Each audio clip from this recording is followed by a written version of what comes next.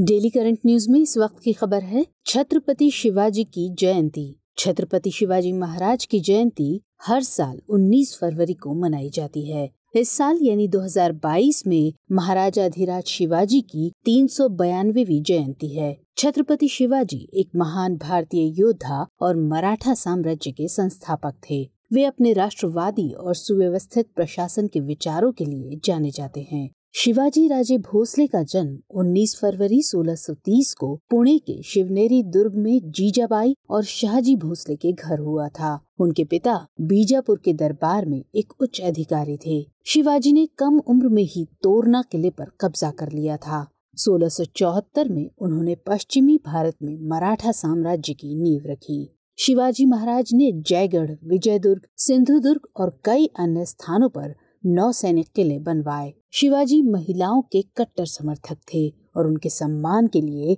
हमेशा खड़े रहे। उन्हें भारतीय नौसेना के पिता के रूप में भी जाना जाता है। तीन अप्रैल 1680 को बीमारी के चलते रायगढ़ किले में उनका निधन हो गया।